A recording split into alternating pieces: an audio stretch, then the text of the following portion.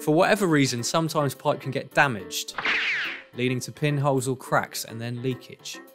But fret not, for these little things known as repair slip couplings have made dealing with cracks as easy as can be. All you need is a set of pipe inserts, a marker pen and a pipe cutter. And if you're feeling like performing a professional installation, get some wrenches which will later be used to get those nuts as tight as possible. Making sure your water supply is turned off. First off you need to mark the endpoints of the fitting equidistant from the damaged area.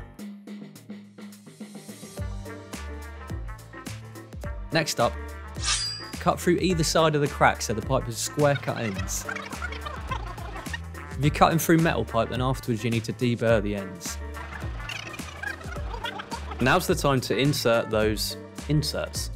These are essential in any sort of compression joint as they prevent the pipe from cracking or warping and gives the fitting something rigid to squeeze the pipe against. Next, let's attach that slip coupling. Just shift one of the pipes laterally so they are no longer aligned and slip the fitting on.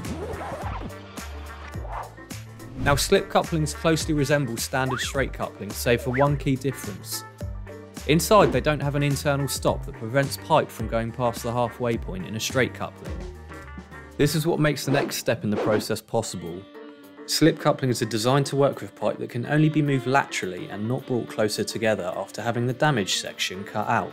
After shifting one of the pipes laterally, you'll be able to slide the coupling all the way onto one of the pipes before realigning them and sliding the coupling back across.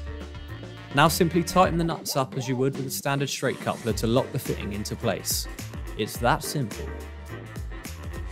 For repair couplings, other fittings, piping and industrial tools, please visit our website or give us a call on this number.